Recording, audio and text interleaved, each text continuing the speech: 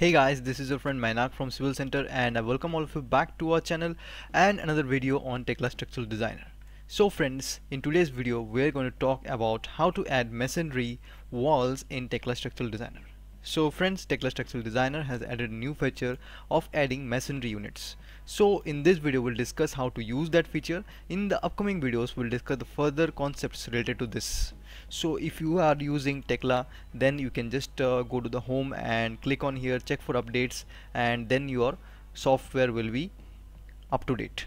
So after that let me let me show you the loads which we generally apply that is we generally apply the loads for your masonry units here in place of masonry units we calculate the loads of the masonry wall and then we apply it on the beams. So we have also done uh, this in this model. Let us check the design. We'll just right click on it and then uh, check the design. As you can see here design static.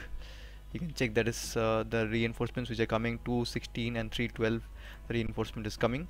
So we can simply just click on this and we'll delete this load and we'll just uh, draw a masonry wall in place of this load. So how to do this? Let's see. So first of all for applying the masonry we'll just uh, what we'll do is we'll create a frame. For creating a frame we can go to the model option and the frame option and we'll create a frame along this since we want to create the masonry unit along this line. So we'll just go to the structure window and then the levels sorry the frames and then we'll open the view of this particular frame. So when this view has opened we want to insert the frame here. For that we want to take some construction lines parallel quick construction line I will take. So the depth of the beam uh, was uh, your uh, 500 mm so here we can insert 0.5 meter enter. So if you want to check the depth of the beam in your case you can just uh, use this particular arrow and it is written concrete beam 215 to 500 so likewise we have created a construction line.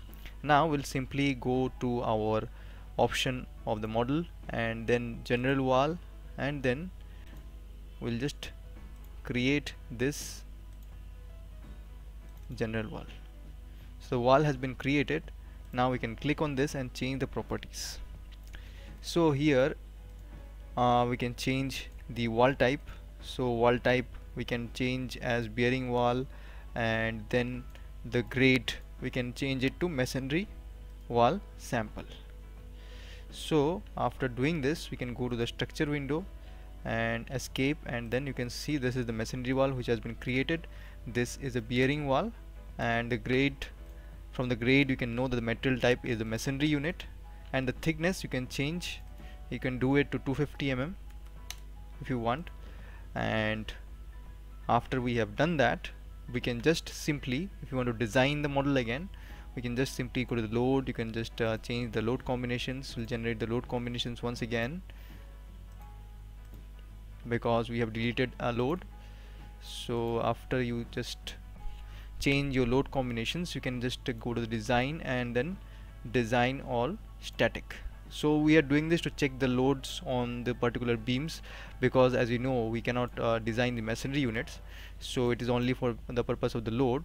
So basically let us just right click on it and check the design of the member.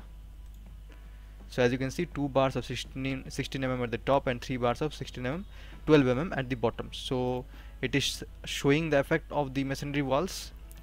So friends in today's video we had shown you how to insert a masonry wall in a model of Tekla structural designer. We'll discuss more concepts of loading related to masonry wall in the upcoming videos. And if you want more videos on new topics do comment. And if you want to take professional training from us on Tekla Structural Designer you can also do so using the registration link which has been given in your description. So that's all for today guys. Bye bye